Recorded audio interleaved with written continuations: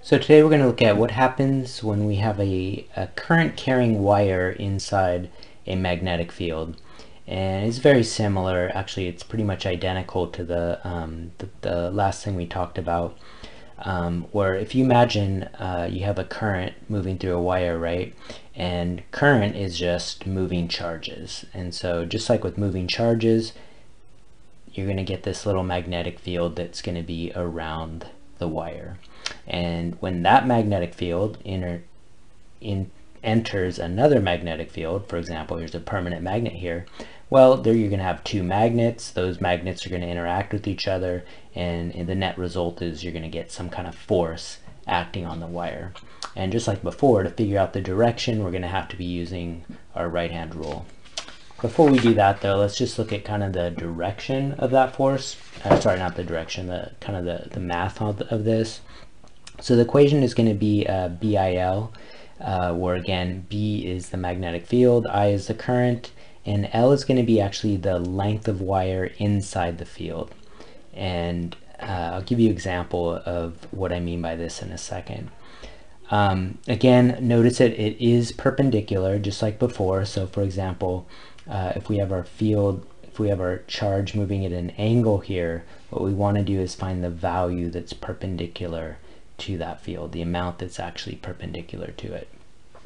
Um, and actually, I guess I can talk about the length here. So notice, you know, maybe our wire extends beyond, you know, it goes up and down and so forth. But the L that we care about is not the total length of the wire, just the length that's inside the magnetic field. And hopefully that makes sense to you because, you know, if it's longer, the, the only part that's being interacted on is the part that's inside the field. This, these charges over here, these are not interacting with the field, so there's not going to be a force on it. By the way, this equation here, this comes from our last equation. If you take a look, we have, remember, BVQ. Okay, but what is velocity? Velocity is just like a distance over time, right? And in this case, our distance here, our dis distance is just defined as that length, right? How far it's going. So we could write this as length over time times q. But remember, what is q over t? Well, q over t is simply current, right? So notice we get that same exact equation here. So let's go ahead and do an example of this. Why don't you go ahead and pause the video, see if you can solve this one on your own.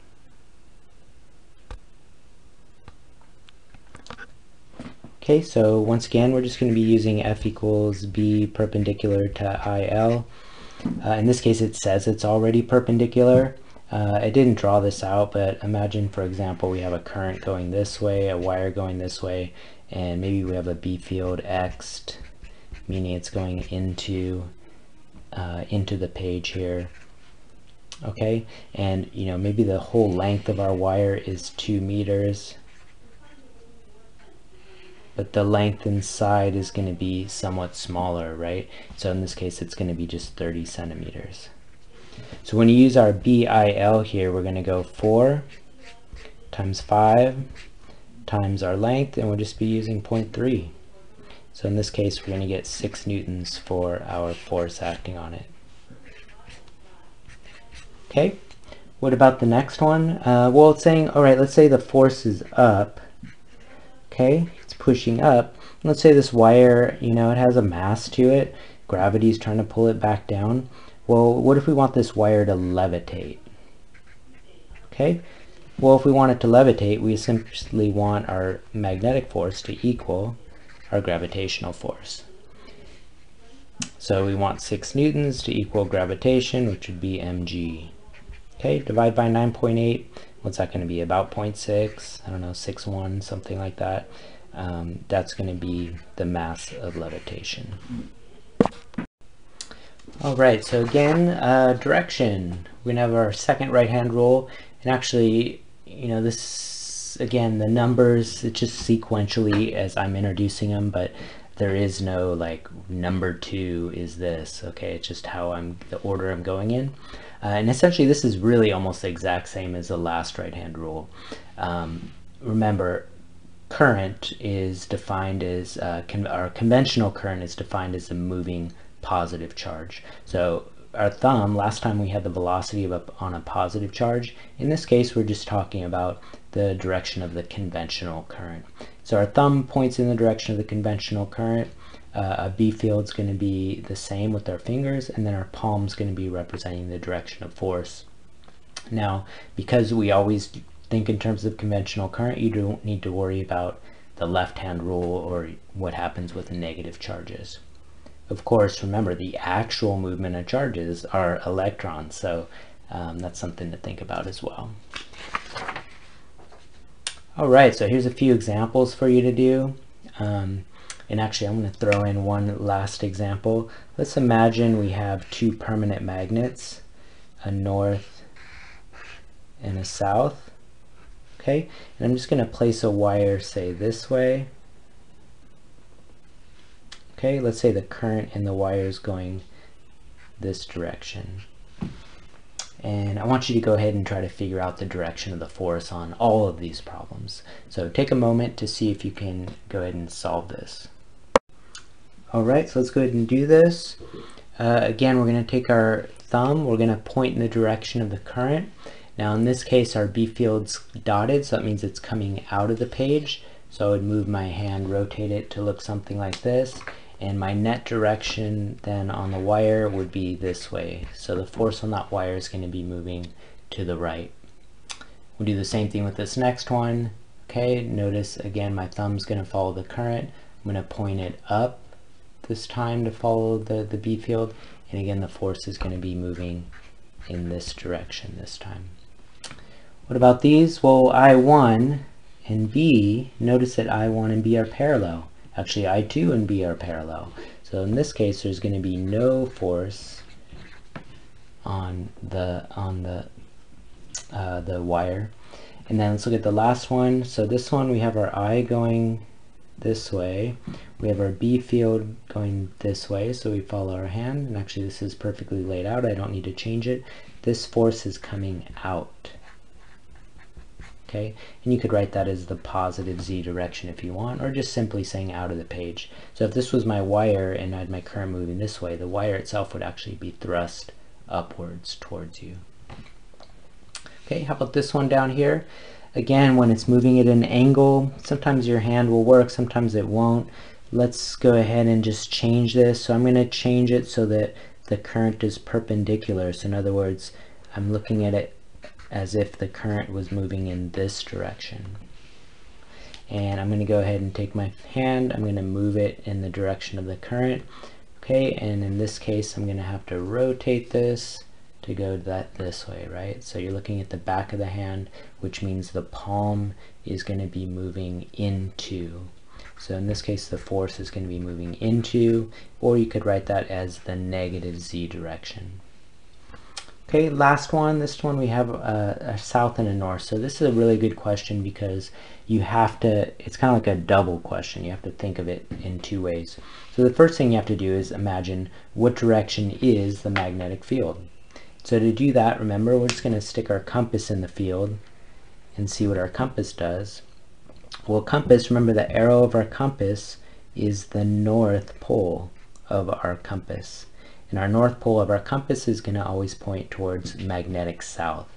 And so the B field in this field is going to be pointing to the left here. So that's going to be my B field. It's pointing to the left. Now I can go ahead and use my right hand rule to figure out that direction. Uh, my current, my thumb's going to follow the current going up this way.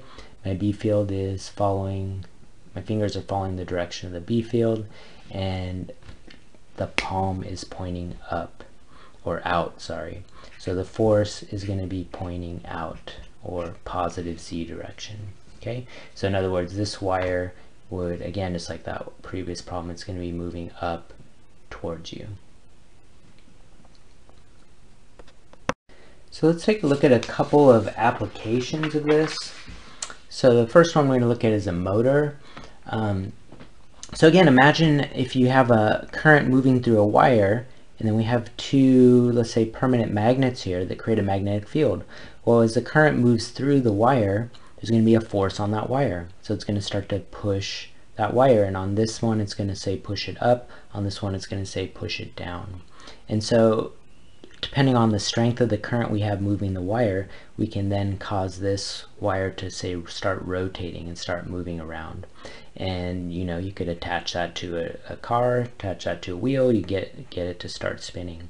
One of the interesting things to notice is as this moves, let's say it moves 180 degrees. As it moves 180 degrees, notice you're going to have the current moving in a certain direction and the force is going to be opposite the direction of motion it just moved. So in other words, this is going to move 180 degrees and then it's going to push it back in the opposite direction 180. So if this were our true motor, it would just flip back and forth and back and forth. However, we take care of this, we fix this by essentially flipping the current.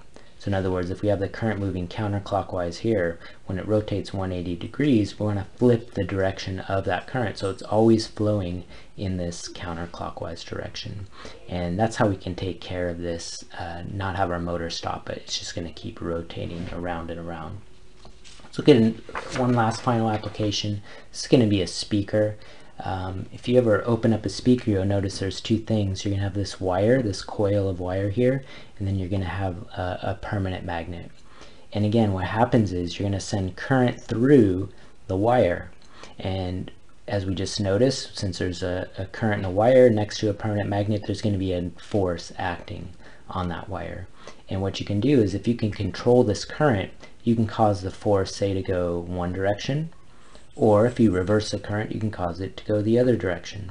So in other words, you can, by changing the direction of the current, you can cause this cone to start vibrating back and forth.